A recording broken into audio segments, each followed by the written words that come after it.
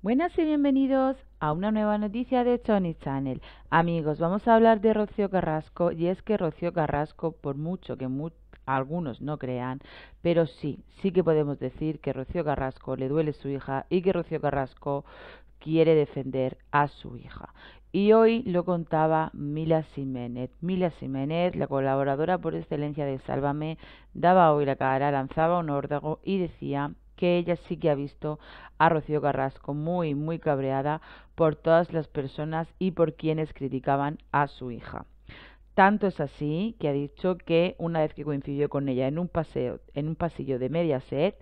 directamente vio cómo la hija de la más grande entraba y se ponía como una histérica, gritando, tirando el bolso contra la pared y dando golpes, diciéndole a todo el mundo que se les quedaba totalmente prohibido hablar de su hija.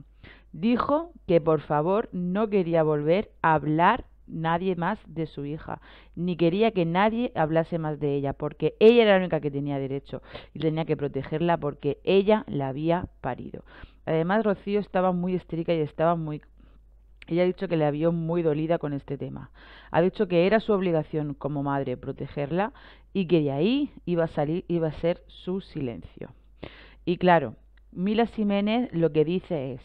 yo entiendo esta madre, entiendo el dolor que sentía esta madre, entiendo que esta madre quiera defender a su hija y que no hable porque le duele y porque es su hija. Pero lo que no entendemos es cómo hay un grupo de amiguitas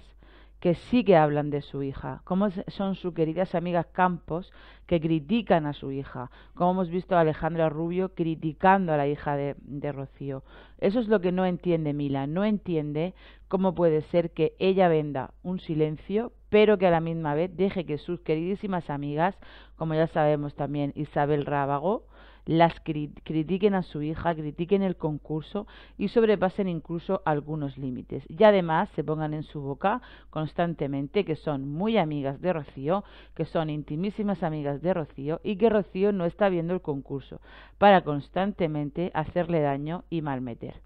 Mil además le ha querido decir también a Rocío que por favor despierte ya, que es inadmisible tanto dolor entre una madre y una hija y que por favor si ha pasado algo que ya se olviden y que vuelvan a estar juntas. Y bueno, pues un mensaje también esperanzador, a lo mejor también es un mensaje donde Mila ha querido un poquito darle a esta mujer, pues algunas,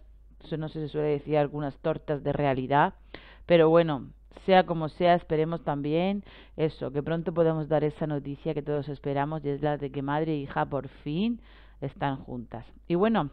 como siempre ya sabéis que en Johnny Channel agradecemos tus comentarios y nos encantaría saber cuál es tu opinión, porque en Johnny Channel tu opinión nos interesa. Gracias por confiar en nuestro canal Johnny Channel, tu diario rosa.